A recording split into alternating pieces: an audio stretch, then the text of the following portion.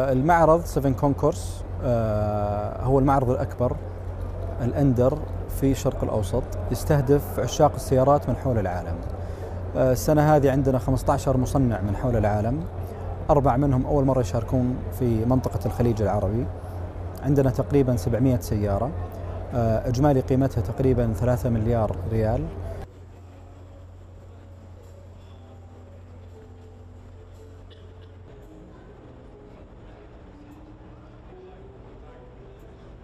ال customer experience وال journey اللي موجودة في المعرض اليوم ما يقدمها أي معرض ثاني.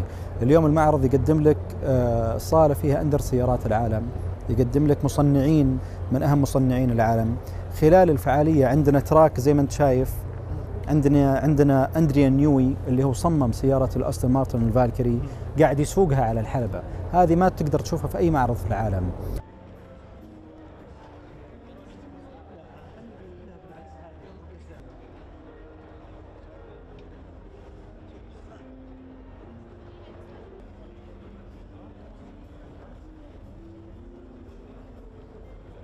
الزوار يقدرون يكونون قريبين جدا من السيارات النادرة جدا والغالية وهذه ما تصير في أي معرض في العالم. آه، المعرض الحمد لله قاعد يصير فيه reveals وكشف ستار عن سيارات لأول مرة قاعدة تصير في العالم، فهذه المجموعة من العوامل خلت 7 Concours آه، وجهة لأهم المصنعين وملاك السيارات الحمد لله.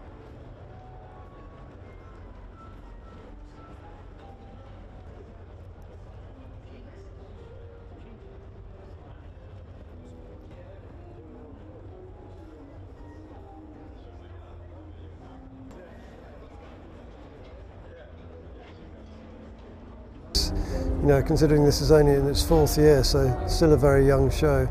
It's, it's mightily impressive, the variety of cars, the fact that we've got specialist manufacturers showing their products already from Europe. Um, it shows the, the importance of the Middle East market.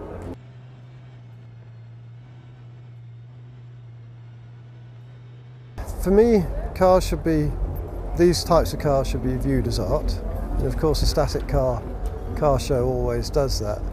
But what this has, what Goodwood Festival has, what Pebble Beach has, is also the fact that the cars move. So they, they're driven, you hear them, you see them moving, uh, you see the dynamic aspect of them, and I think that is an important part of the whole thing.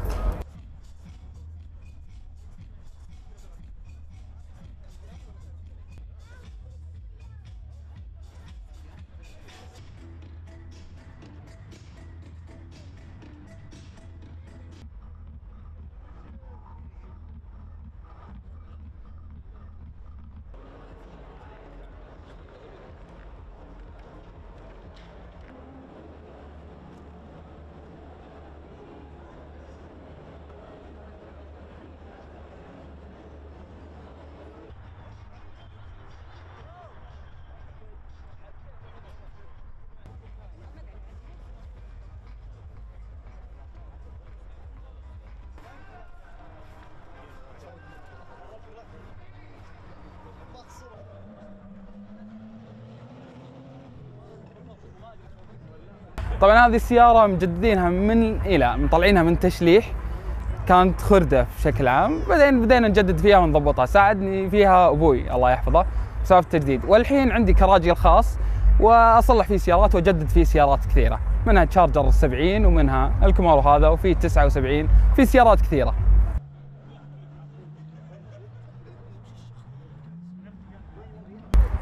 طبعا احتاجت مني أغراض واجد منها كقطع غيار كلها طلبية طبعا من أمريكا.